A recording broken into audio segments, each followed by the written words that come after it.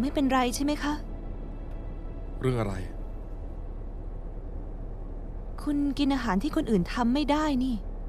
เมื่อกี้คุณถึง นี่เธอห่วงฉันจริง ๆ หรือแค่พูดตามที่ถูกป้อนเข้าสมองกันแน่ วันนี้คุณพาฉันมาด้วยทำไมคะ เพราะเธอต้องอยู่ด้วยยังไงเล่า จำได้ไหมคะว่าเมื่อคืนคุณพูดอะไรกับฉันน่ะ ฉันบอกว่าฉันอยากให้เธอเป็นคน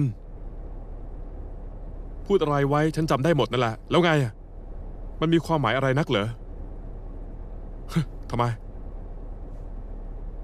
เธอจะแต่งงานกับฉันหรือยังไง ถ้ามันกวนใจเธอนะก็ลบทิ้งเหมือนครั้งที่แล้วสิ ฉันไม่แคร์หรอกว่าเธอจะจำได้หรือไม่ได้เนี่ย นายนี่มันแย่จริงบอกแล้วไงว่าถ้าเปิดโหมดเพื่อนฉันจะ reset เธอ reset เลยสิ ยังไงฉันก็ต้องพูด นายทำแบบนี้กับฉันทำไมอะฮะ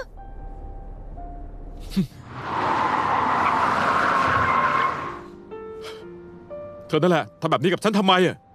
เธอมันก็แค่หุ่นยนต์ทำไมฉันต้องแคร์ความรู้สึกของเธอด้วยทำไมต้องทำให้ฉันอยากรู้ว่าเธอคิดอะไร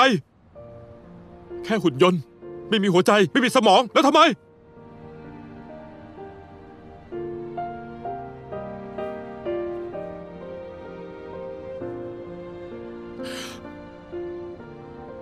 รวมรายการชุดเดรส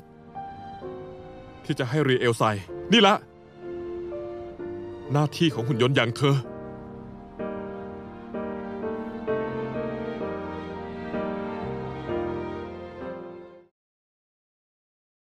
อันยองอาเซโย